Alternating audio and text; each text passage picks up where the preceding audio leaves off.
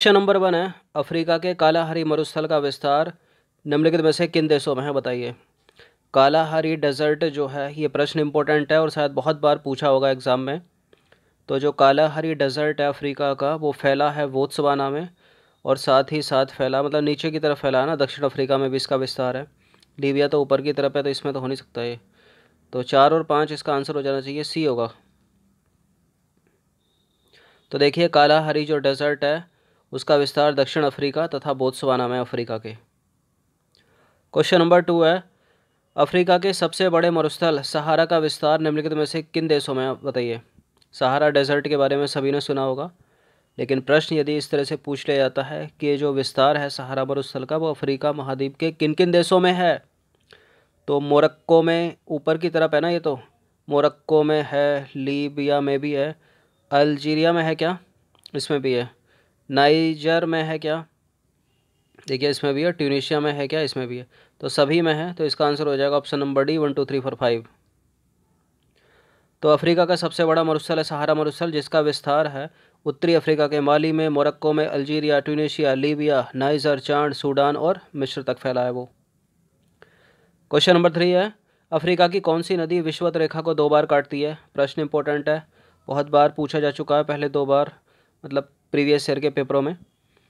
तो देखिए, ये है अपनी पृथ्वी, बीच से एक रेखा खींच दी जाती है, ज़ीरो डिग्री इसको बोलते हैं इक्वेटर या भूमध्य रेखा। ऊपर का हो गया उत्तरी गोलार्ध, नीचे का हो गया दक्षिणी गोलार्ध, ये हो गया उत्तरी ध्रुव, ये हो गया दक्षिणी ध्रुव। तो इसकी बात कराए यहाँ से नदी, इसको जायरे। जायरे जो है, वो विश्वत रेखा को दो बार काटती है। तो देखिए, अफ्रीका की दूसरी सबसे बड़ी नदी है जायरे, जिसको कांगो भी बोला जाता है। प्रश्न में कांगो भी आ सकता है तो इसको भी याद रखिए। तो कांगो जायरे एक ही बात है, यह अफ्रीका उच्च भूमि से निकलती है तथा अटलांटिक महासागर में गिरती है। यह विश्वत रेखा को दो बार काटती है। उल्लेखनीय है कि स्टेनली तथा लिविंग स्टोन जलप्रपात जो हैं, वो इसी पर स्थित हैं। क्वेश्चन नंबर फोर है, अफ्रीका की बहुउद्देशीय परियोजनाओं के संदर्भ में एक तरफ़ है नदी, उस दूसरी तरफ़ है परियोजना। जायरे के सामने ओवन परियोजना लिखा है, नाइजर के सामने सेन्नार परियोजना श्वेत नील देखिए, नील दो प्रकार की है ना, एक ब्लू नील और एक वाइट नील तो श्वेत नील इनंगा परियोजना। अब बताइए, इनमें से कौन सा जो है सही सुमेलित नहीं है मतलब गलत सुमेलित है? तो यहाँ देख लिया कीजिए इम्पोर्टेंट है कि यहाँ पूछा क्या है, सही नहीं है या सही है? तो देखिए, जो जायरे नदी पर परियोजना है, वो बनी है इनंगा और जो श्वेत मतलब वाइट नील पर जो परियोजना है, वो बनी है ओबन तो एक और तीन तो गलत हो गया, जहाँ जहाँ एक और तीन है, वो तो हो नहीं सकता। तो देखा जाए तो सारे के सारे गलत हो गए ये तो फिर। और नाइजर जो है, उस पर सेन्नार परियोजना नहीं बनी है, कैंजी परियोजना बनी है उस पर। तो कोई भी इनमें से सुमेलित नहीं है, सारे के सारे गलत सुमेलित हैं। तो इसका आंसर हो जाएगा डी। तो देखिए, जायरे पर इरंगा परियोजना है, क्योंकि उपरोक्त में से कोई भी सुमेल नहीं है। और श्वेत नील पे ओबन परियोजना है, नाइजर पे केंजी परियोजना है। उल्लेखनीय है कि अकोसोम्बो उल्लेखनीय है कि अकोसोम्बो बाँध बोल्टा नदी मतलब घाना पर है, और बोल्टा नदी कहाँ है? घाना में। और बाँध के निर्माण से बोल्टा नामक कृत्रिम झील का निर्माण हुआ है, जो अफ्रीका की सबसे बड़ी कृत्रिम झील है। नील नदी के संदर्भ में निम्नलिखित कथनों पर विचार कीजिए। यह विक्टोरिया झील से निकलकर अटलांटिक महासागर में गिर जाती है। इससे होकर भूमध्य रेखा गुजरती है। श्वेत नील तथा नीली नील इसकी सहायक नदियाँ हैं, प्रमुख सहायक नदियाँ हैं। देखिए, दो प्रकार की नील है, एक ब्लू नील और वाइट नील, आगे जाके मिल जाती हैं ये। तो करेक्ट है यहाँ पर, और इससे होकर विश्वत रेखा गुजरती है, ये भी करेक्ट है। विश्वत रेखा भी इधर से तो जा रही है ना, केन्या विन्या। तो यहाँ तो है ये। अब बाकी देखिए, विक्टोरिया झील जो है नील नदी जो है, वो विक्टोरिया झील से निकलकर अटलांटिक महासागर में थोड़ी गिरती है। यूरोप अफ्रीका के वो तो इस साइड में ये तो इधर ही गिर जाती है ना तो मेडिटेरियन में गिरेगी, भूमध्य सागर में। तो पहला गलत है। क्या एक से इसका आंसर निकल सकता था? बिल्कुल। इसका आंसर हो जाएगा ऑप्शन नंबर बी।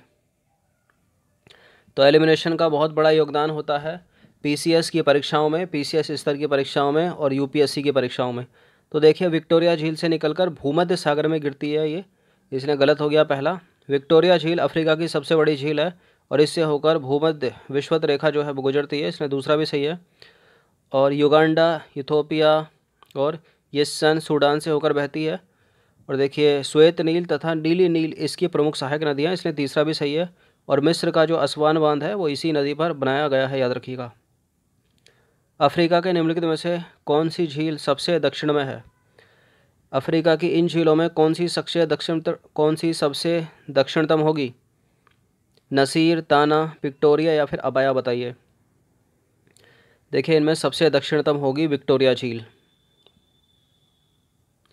तो अफ्रीका में स्थित झीलों का उत्तर से दक्षिण की ओर यदि क्रम देखा जाए तो नसीर झील सबसे उत्तर में उसके नीचे आओगे तो ताना झील, उसके नीचे अबाया झील अबाया झील के नीचे विक्टोरिया झील और विक्टोरिया झील के नीचे है नासा झील। यदि भूगोल के प्रश्न आप बना रहे हो तो मैप आपके दीवार पे होना चाहिए सामने, या फिर एटलस खरीद लीजिए, जिनके पास नहीं है। सातवां प्रश्न है, अफ्रीका के संदर्भ में कुछ स्टेटमेंट है यहाँ पर। अफ्रीका का एटलस पर्वत मोड़दार पर्वत है। और क्लीमंजारो तथा केन्या ज्वालामुखी पर्वत हैं। तो एटलस माउंटेन मोड़दार पर्वत है करेक्ट है, और क्लीमंजारो तथा केन्या ज्वालामुखी पर्वत हैं, ये भी करेक्ट है। तो इसका आंसर हो जाएगा ऑप्शन नंबर सी दोनों के दोनों सही हैं। तो देखिए एटलस पर्वत अफ्रीका का एक मोड़, एक मोड़दार पर्वत है। ये मान नहीं है एक मात्र होना चाहिए। एक मात्र मोड़दार पर्वत है, और इसका विस्तार जो है वो यूरोप तक है। अफ्रीका स्थित क्लीमंजारो तथा केन्या पर्वत जो है वो ज्वालामुखी पर्वत के उदाहरण है। दो बार हो गया क्या? चलिए। यूरोप के संदर्भ में निम्नलिखित कथनों पर विचार कीजिए। यूरोप का पेरिस, सीन नदी के किनारे अवस्थित है। पेरिस क्या है? फ्रांस की कैपिटल है और सीन नदी जो है वो उत्तरी सागर में गिरती है। देखिए, पहला करेक्ट है, दूसरा है इनकरेक्ट, क्योंकि सीन नदी जो है वो उत्तरी सागर में नहीं गिरती, वो तो इंग्लिश चैनल में गिरती है ना? तो इसका आंसर हो जाएगा वन ओनली। तो यूरोप का पेरिस जो है, वो सीन नदी के किनारे स्थित है। उत्तर प्रदेश पीसीएस का फेवरेट प्रश्न बहुत बार पूछा है। सीन नदी जो है, वो इंग्लिश चैनल में गिरती है, ना कि उत्तरी सागर में। इसलिए एक सही है, दो गलत है। निम्नलिखित कथनों पर विचार करना है। रोन नदी आल्प्स पर्वत से निकलकर भूमध्य सागर में गिरती है मतलब मेडिटेरियन में गिरती है, और यूराल नदी जो है, वो कैस्पियन सागर में गिरती है। करेक्ट है, इंटरचेंज कर दूँ? देखिए करेक्ट है, बिल्कुल। रोन नदी जो है, वो आल्स माउंटेन से निकलकर भूमध्य सागर में गिरती है और यूराल नदी जो है, वो कैस्पियन सागर में गिरती है। तो दोनों के दोनों सही हैं तो सी हो जाएगा इसका उत्तर। तो देखिए, जो रोन नदी है, वो आल्स पर्वत से निकलकर जेनेवा झील से होते हुए भूमध्य सागर में गिरती है, पहला करेक्ट है। और जो यूराल नदी है, वो एशिया तथा यूरोप के मध्य सीमा बनाती है तथा कैस्पियन सागर में गिरती है। तो इसका आंसर हो जाएगा एक और दो, दोनों यहाँ पर सही हैं। निम्नलिखित में से कौन सही सुमेलित नहीं है? कोई एक जो है सही सुमेलित है, चार चार हैं तो तीन यहाँ सही सुमेलित होंगे और एक जो है सही सुमेलित नहीं होगा। अपने को इसी को खोजना है। तो गैरान नदी फ्रांस में बहती है, एल्ब नदी जर्मनी में बहती है, निस्टर नदी यूक्रेन में बहती है और डान नदी फ्रांस में बहती है। कौन सा काटें इसके अंदर? तो गैरान नदी फ्रांस में बहती है करेक्ट है। निस्टर यूक्रेन में बहती है करेक्ट है। डॉन फ्रांस में नहीं बहती। डॉन तो रूस में बहती है ना। एल्ब जर्मनी में बहती है करेक्ट है। तो देखिए, गैरान जो है, ये सेंट्रल में से फ्रांस से निकलकर बिस्के की खाड़ी अटलांटिक महासागर में गिरती है। जो एल्ब नदी है, वो हेम्बर्ग शहर जर्मनी, इसी नदी के मुहाने पर स्थित है। जो नीस्टर है, यह जो नदी है, वो यूक्रेन तथा मालडोबा के मध्य सीमा बनाती है और काला सागर में गिर जाती है। डॉन जो है, वो रूस के टूला से निकलकर एजोब सागर में गिरती है। तो फ्रांस से संबंध नहीं है डॉन का डॉन का संबंध है रूस से, रूस। क्वेश्चन नंबर ग्यारह है, कोई बंदरगाह है ये? बताइए कहाँ पर स्थित है? और बंदरगाह का नाम क्या है? मुमुरसक। मुमुरसक बंदरगाह जो है, वो कहाँ पर स्थित है? जर्मनी, रूस, इटली या फ्रांस? मुमुरसक बंदरगाह।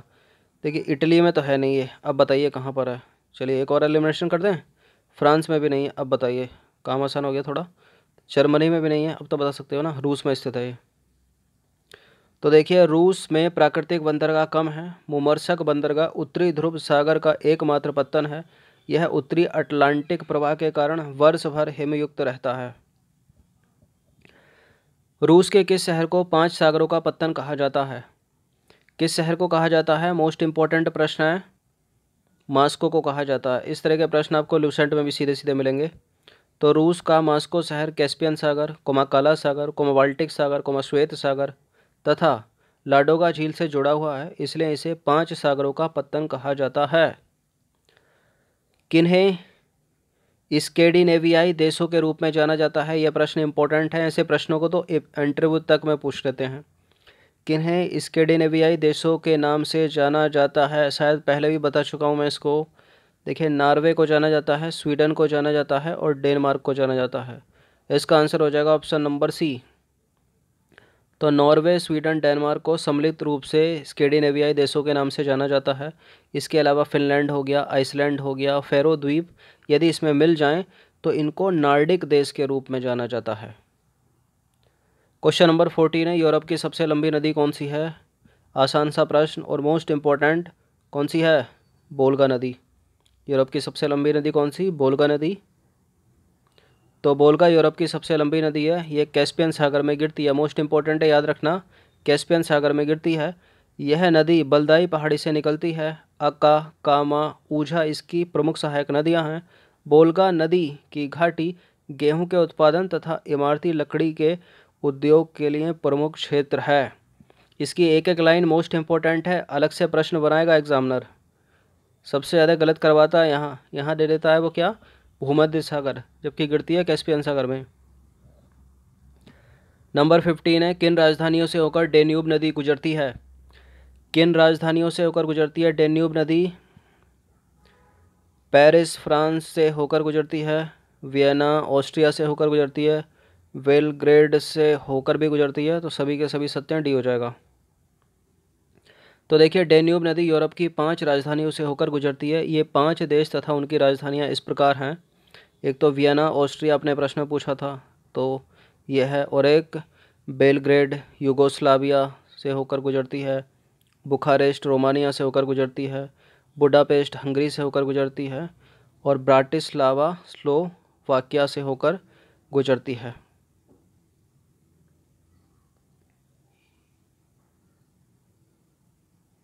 चलिए। क्वेश्चन नंबर सिक्सटीन है। निम्नलिखित कथनों पर विचार करना है।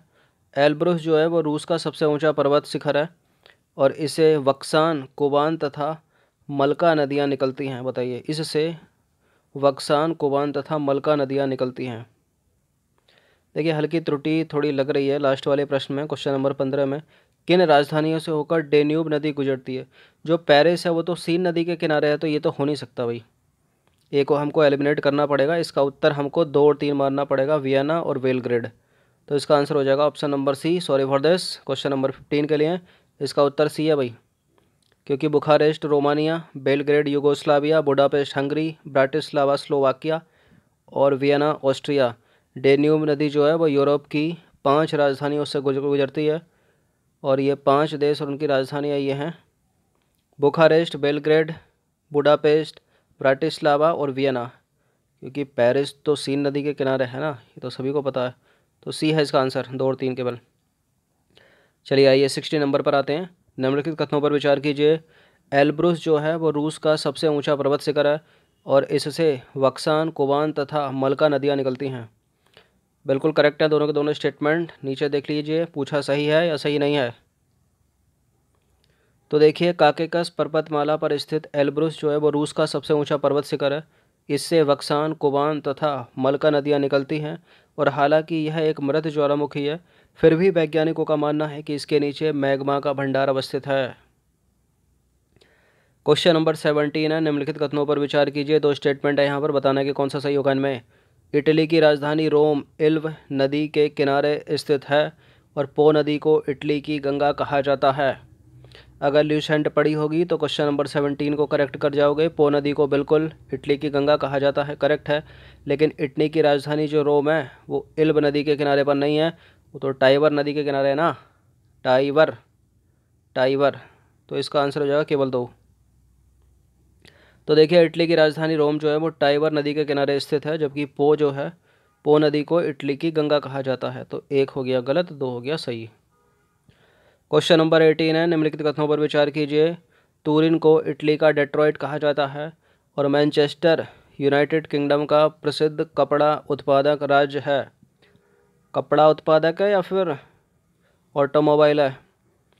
देखिए फ़्लिपकार्ट पे भी देखा होगा आपने मैनचेस्टर यूनाइटेड कपड़ा क्लॉथिंग के लिए। और टूरिन को इटली का डेट्रॉइट कहा जाता है, ये भी करेक्ट है। तो दोनों के दोनों सही हैं? सी हो जाएगा इसका आंसर तो तुरिन को इटली का डेट्रॉइट कहा जाता है और मैनचेस्टर यूनाइटेड किंगडम का प्रसिद्ध कपड़ा उत्पादक राज्य है। दोनों के दोनों सही हैं। क्वेश्चन नंबर नाइनटीन, अमूर नदी किन दो देशों के बीच सीमा बनाती है? उत्तरी कोरिया और दक्षिणी कोरिया के मध्य बनाती है क्या? नहीं बनाती। पाकिस्तान, अफ़गानिस्तान के मध्य बनाती है क्या? नहीं बनाती। भारत और रूस के मध्य तो कैसे बनाएगी? रूस और चीन के मध्य बनाती है। तो ये हो जाएगा इसका आंसर। तो देखिए, अमूर नदी जो है, वो रूस और चीन के मध्य सीमा बनाती है। क्वेश्चन नंबर ट्वेंटी है, जर्मनी के संदर्भ में निम्नलिखित कथनों में से कौन सा जो है, वो सही नहीं है? राइन तथा रूर नदी के बीच का क्षेत्र कोयला उत्पादन के लिए प्रसिद्ध है। म्यूनिक कला तथा संस्कृति का केंद्र है। सैक्सोनी प्रदेश में लिग्नाइट कोयले के भंडार पाए जाते हैं और ब्लैक फॉरेस्ट तथा हार्ज पर्वत ज्वालामुखी पर्वत हैं। देखिए, बहुत बार बताया होगा ब्लैक फॉरेस्ट तो ब्लॉक माउंटेन का उदाहरण है ना? ज्वालामुखी पर्वत का थोड़ी है। तो दूसरे को एलिमिनेट कर दीजिए।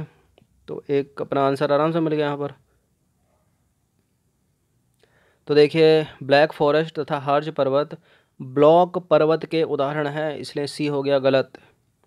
तो ट्वेंटी प्रश्न ऐड किए थे इम्पोर्टेंट थे, हर दिन इनका रिविज़न करते रहिए। इनकी क्वालिटी बिल्कुल उत्तर प्रदेश पीसीएस की परीक्षाओं को मेल खाती है।